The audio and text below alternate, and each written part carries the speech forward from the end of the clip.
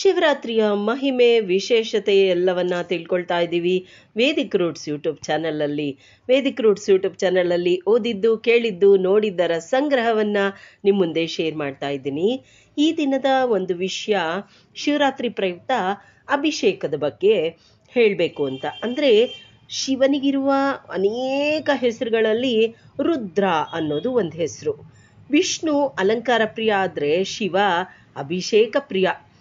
ಬ್ರಹ್ಮನ ಕೋಪದಿಂದ ಉದಿಸಿದ ರುದ್ರನನ್ನ ಅಭಿಷೇಕದಿಂದ ಸಂತೃಪ್ತಿಗೊಳಿಸ್ಬೇಕು ಅಂತ ಹೇಳ್ತಾರೆ. ಇದಕ್ಕೆ ರುದ್ರಾಭಿಷೇಕ ಅಂತ ಹೇಳ್ತಾರೆ. ರುದ್ರಾಧ್ಯಾಯದಲ್ಲಿ ರುದ್ರನ ವರ್ಣನೆ ಮತ್ತೆ ರುದ್ರಾಭಿಷೇಕದ ವಿವರಣೆ ಇದೆ ರುದ್ರಾಭಿಷೇಕ ಆದ ನಂತರ ರುದ್ರ ಕ್ರಮಾರ್ಚನೆ, ರುದ್ರ ತ್ರಿಶತಿಗಳಿಂದ ಶಿವನನ್ನ ಅರ್ಚಿಸಿ ಮಹಾ ಮಂಗಳಾರತಿ ಮಾಡ್ತಾರೆ. ಶಿವೋಪಾಸಕರು ನಿತ್ಯವೂ ಪಠಿಸುವ ರುದ್ರ ಮಂತ್ರವು ಮಹತ್ವತೆಯಿಂದ ಕೂಡಿರುತ್ತೆ. ಚತುರ್ವಿಧ ಪುರುಷಾರ್ಥ ಸಾಧನೆಗೆ ಈ ಮಂತ್ರ ಸಿದ್ಧೌಷಧವಾಗಿದೆ. ರುದ್ರ ಜಪಾನುಷ್ಠಾನದಿಂದ ತೇಜಸ್ಸು, ವರ್ಚಸ್ಸು, ಆಯುರಾರೋಗ್ಯ, ಐಶ್ವರ್ಯ ದಿವೃದ್ಧಿಸತ್ತೆ ಈ ರುದ್ರಾಭಿಷೇಕ ಜಲ ಪ್ರಾಶನ ಮಾಡಿದ್ರೆ ಪಾಪಗಳು ನಿವಾರಣೆ ಆಗತ್ತೆ, ಅಪಮೃತ್ಯು ದೂರ ಆಗತ್ತೆ ಅಂತ ಹೇಳಲಾಗತ್ತೆ. ಇನ್ನು ಅಭಿಷೇಕ ಪ್ರಿಯ ಶಿವ ಅಂತ ಹೇಳ್ತಾರಲ್ಲ, ಇದರ ಅರ್ಥ ತಿಳ್ಕೊಳಕ್ಕೆ ಹೋದ್ರೆ ಭಗವಂತ ಜ್ಯೋತಿ ರೂಪದಿಂದ ಪಾತಾಳದಿಂದ ದ್ಯೂಲೋಕದವರೆಗೆ ವ್ಯಾಪಿಸಿದ್ದ. ಅಂದ್ರೆ ಆತನ ಆವಿರ್ಭಾವ ಲಿಂಗಾಕಾರವಾಗಿತ್ತು.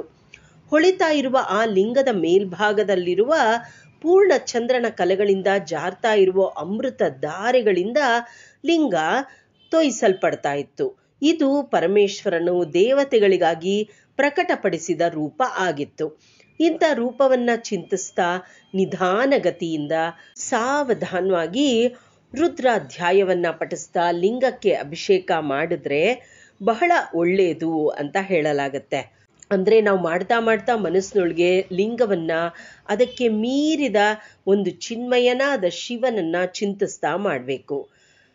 ಇನ್ನು ಈ ಅಭಿಷೇಕ ಏನೇನಕ್ಕೆ ಮಾಡ್ತಾರೆ ಅಂತ ಹೇಳಲಿಕ್ಕೆ ಹೋದರೆ, ದೇವಾಸುರರು ಕೈಗೊಂಡ ಕ್ಷೀರಸಾಗರ ಮಥನದಲ್ಲಿ ಉತ್ಪನ್ನವಾದ ಹಾಲಾಹಲ ವಿಷವನ್ನು ತನ್ನ ಉಂಡು ಲೋಕವನ್ನು ಉಳಿಸಿ ನೀಲಕಂಠ ಆದ. ಶ್ರೀಕಂಠೇಶ್ವರ ಕೂಡ ಆದ. ಆ ವಿಷದ ತಾಪವನ್ನ ಹೋಗಲಾಡಿಸುವ ಸಂಕೇತವಾಗಿ ಅಭಿಷೇಕ ಮಾಡಲಾಗತ್ತೆ ಅಂತ ಹೇಳ್ತಾರೆ. ಅದೇ ರೀತಿ ಇನ್ನೊಂದು ಹೇಳ್ತಾರೆ, ಗಂಗೆಯನ್ನ ಶಿರದಲ್ಲಿ ಧರಿಸಿ ಸದಾ ಗಂಗಾವಾರಿಯಿಂದ ಅಭಿಷೇಕ ಪ್ರಿಯನಾದ ಶಿವ, ಬೇಗ ಪ್ರಸನ್ನನಾಗ್ಲಿ ಅಂತ ಅಭಿಷೇಕ ಮಾಡ್ತೀವಿ ಅಂತ ಹೇಳಲಾಗತ್ತೆ. ಹಾಗೆ ಅಭಿಷೇಕ ಅನ್ನೋದೇನು ಅಂದರೆ ಅಂತರಂಗ ಬಹಿರಂಗ ಶುದ್ಧಿಯ ಸಂಕೇತ ಕೂಡ ಆಗಿರುತ್ತೆ. ನಿರಂತರವಾದ ಜಲಾಭಿಷೇಕ ನಾವು ನೋಡ್ತಾ ಇದ್ರೆ ಅಥವಾ ಮಾಡ್ತಾ ಇದ್ರೆ ನಮ್ಮ ಚಿತ್ತ ತೈಲ ಧಾರೆಯಂತೆಯೇ ಭಗವಂತನಲ್ಲಿ ಏಕಾಗ್ರವಾಗಿ ನೆಲೆ ನಿಲ್ಲಲಿ. ಮತ್ತೆ ಮಾಡುವ ಕಾರ್ಯದಲ್ಲಿ ಕಾರ್ಯಕರಣ ಶುದ್ಧಿಗಳು ಸ್ಥಿರವಾಗಿರಲಿ. ಕೈಗೊಂಡದ್ದೆಲ್ಲ ಕೈಗೂಡ್ಲಿ ಅಂತ ಅದ್ರ ಪ್ರಕಾರ ಕೂಡ ಅಭಿಷೇಕ ಮಾಡಲಾಗುತ್ತೆ. ಇನ್ನು ಅಭಿಷೇಕ ಹೇಗೆ ಪ್ರಶಾಂತವಾಗಿರುತ್ತೆ, ತಣ್ಣೀರಿಂದ ಅಭಿಷೇಕ ಮಾಡಿಸ್ತೀವಿ, ಈ ರೀತಿ ನಾವು ಸದಾ ತಣ್ಣೀರಿನಂತೆ ಪ್ರಶಾಂತ ಚಿತ್ತರಾಗಿರಬೇಕು.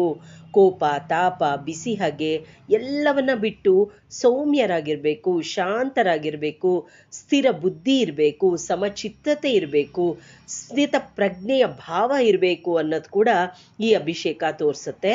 ಮತ್ತೆ ತಣ್ಣೀರಿನ ಸ್ನಾನ ಎಲ್ಲ ರೀತಿಯಿಂದ ಆರೋಗ್ಯಕರ ಅಂತ ಕೂಡ ತೋರಿಸುತ್ತೆ. ಮತ್ತೆ ಜಲಸ್ನಾನ ಯಾವಾಗಲೂ ಅಷ್ಟೇ ಚೆನ್ನಾಗಿ ಜಲಸ್ನಾನ ಮಾಡಿದ್ರೆ ನಾವು ಎಷ್ಟು ಗಂಟೆಗಳ ನಿದ್ದೆ ತಗೊಂಡು ಒಂದು ಫ್ರೆಶ್ ಆಗ್ತೀವಿ ನವ ಚೈತನ್ಯ ಹೊಂದುತ್ತೀವಿ, ಅದೇ ರೀತಿ ಜಲಸ್ನಾನ ಕೂಡ ವಿಶ್ರಾಂತಿ ಮತ್ತೆ ನವ ಚೈತನ್ಯ ದೇಹಕ್ಕೆ ಉಂಟು ಮಾಡುತ್ತೆ ಅಂತ ಹೇಳ್ತಾರೆ. ಅದಕ್ಕೆ ದಿನನಿತ್ಯ ನಾವು ಸ್ನಾನ ಮಾಡಲೇಬೇಕು ಅಂತ ಹೇಳೋದು.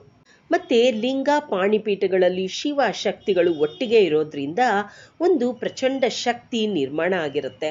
ಲಿಂಗದ ಮೇಲೆ ಮತ್ತೆ ಬರುವ ಭಕ್ತರ ಮೇಲೆ ಹಾನಿಯಾಗದಂತೆ ನೀರಿನ ಧಾರೆ ಲಿಂಗದ ಮೇಲೆ ಸತತವಾಗಿ ಬೀಳುವಂತೆ ಮಾಡಿರ್ತಾರೆ. ಈ ಜಲಧಾರ ಅಭಿಷೇಕದಿಂದ ಸೂಕ್ಷ್ಮವಾದ ಓಂಕಾರದ ನಿರ್ಮಾಣ ಆಗಿರುತ್ತೆ. ಅಂದ್ರೆ ಸತತವಾಗಿ ನೀರು ಒಂದೇ ರೀತಿಯಲ್ಲಿ ಬೀಳ್ತಾ ಇದ್ದರೆ ಲಿಂಗದ ತಲೆ ಮೇಲೆ ಅದು ಒಂದು ರೀತಿಯ ಒಂದು ಸೂಕ್ಷ್ಮವಾದ ಓಂಕಾರದಂತೆ ಶಬ್ದ ಕೇಳಿಸತ್ತೆ. ಈ ಜೀವರ ಮೇಲೆ ನಾಮ ಜಪದ ಸತತ ಧಾರೆಯಾದರೆ ಹೇಗಿರುತ್ತೆ ಹೇಳಿ? ಹಾಗೆ ಬಂದ ಮುಕ್ತಿಯಾಗುತ್ತೆ ಜ್ಞಾನ ಚಕ್ಷು ತೆರೆಯೋದಕ್ಕೆ ಇದು ಸಹಾಯ ಮಾಡುತ್ತೆ ಅಂತ ಹೇಳ್ತಾರೆ. ಮತ್ತೆ ಶಿವ ಸದಾ ಕ್ರೈ, ಕ್ರಿಯಾಶೀಲ ಆಗಿರ್ತಾನೆ. ಅದರ ಪ್ರತೀಕವಾಗಿ ಕೂಡ ಶಿವಲಿಂಗ ಮತ್ತೆ ಪಾಣಿಪೀಠ, ಜಗನ್ಮಾತಾ ಯೋನಿಗಳನ್ನ ಸತತವು ಅಭಿಷೇಕದಿಂದ ಒದ್ದೆಯಾಗಿಡ್ಲಿಕ್ಕೆ ಅಭಿಷೇಕ ಮಾಡಲಾಗುತ್ತೆ ಅಂತ ಹೇಳ್ತಾರೆ.